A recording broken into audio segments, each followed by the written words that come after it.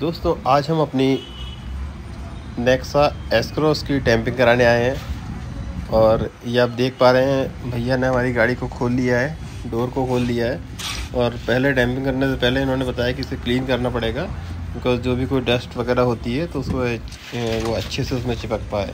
देखिए, इन्होंने क्लीन कर दिया है, और शीट को कट करके अंदर के साइड से आप देख पा रहे हैं, चिपका रहे हैं। ये देखिए ये प्रॉपर बिल्कुल अंदर जहाँ तक हाथ जाकर पॉसिबल होता है, वहाँ चिपका देते हैं। थोड़ी देर में हम आपको इसका डैम्पिंग के पहले और बाद का रिज़ल्ट भी बताएँगे कि ये इसमें क्या हमारा चेंजेस क्या हुए हैं, क्या फ़र्क पड़ा है, पहले क्या साउंड था, बाद में क्या साउंड था, बाहर का साउंड अंदर आता है या जो भी फ़र्क होता है वाट जो भी है, इसमें कितना प्राइजेस क्या है शीट किस टाइप की लगी है, और जो भी हमें यहाँ से बताया है इन लोगों ने कि किस टाइप की शीट लगाना चाहिए, किस टाइप की शीट नहीं लगाना चाहिए और जो जो सावधानी है, क्या बरतना चाहिए। फ़िलहाल आप देख रहे हैं उन्होंने बहुत अच्छे तरीके से ये अंदर के साइड चिपका दिया है। प्रॉपर रोलर से प्रेस करके वो लगाया है। ये देखिए, और एक और लेयर नीचे लगा रहे हैं। दरवाज़े के अंदर की तरफ़ तो पॉसिबल नहीं है कि हर एक जगह पर लगाया जाए। और आपके पास अगर आप जाएँगे तो नॉर्मल शॉपकीपर रिकमेंड करते हैं कि केवल आउटर साइड में ही लगा लें, क्योंकि अंदर लगाने में तकलीफ़ आती है। बट अंदर लगाना ही सबसे ज़्यादा ज़रूरी है। देखिए, अंदर इन्होंने लगा दिया है और रोलर से प्रॉपर रोल कर कर ही इसे चिपका रहे हैं, ताकि एक लंबे टाइम तक चल पाए।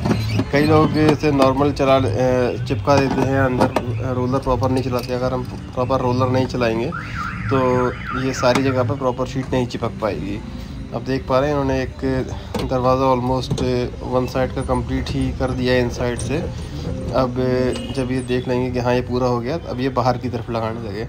बाहर के लिए एक पूरा एक शीट इसमें लग जाएगी। पहले उन्होंने नाप लिया है कि यहाँ से यहाँ तक ये पूरी शीट है, जहाँ जहाँ कट करना होगा वहाँ कट कर लेंगे और बाकी एज इट इज़ ये पूरी शीट स्टिक हो जाएगी इससे।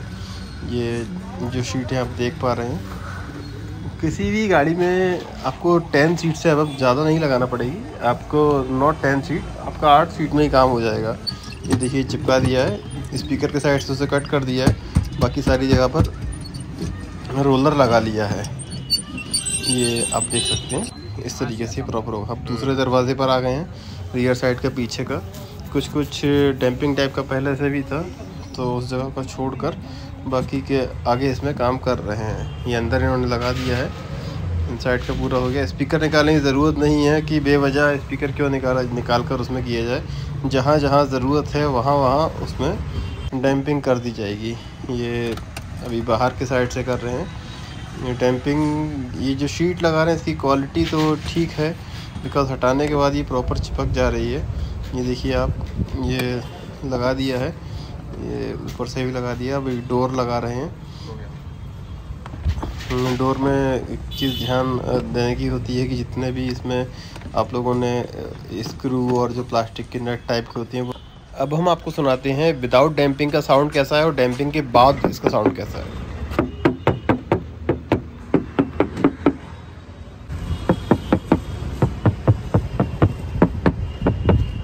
आपने देखा कि इसके पहले का और बाद के साउंड में बहुत ज़्यादा फ़र्क है। डोर की बिल्ड क्वालिटी बहुत ज़्यादा इम्प्रूव हो गई है।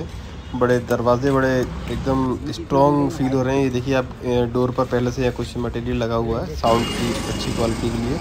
अब सामने का साउंड डैम्पिंग हो रही है और इसके बाद कंप्लीट होने के बाद हम आपको इसका साउंड सुनाते हैं कि साउंड क्वालिटी कैसी है।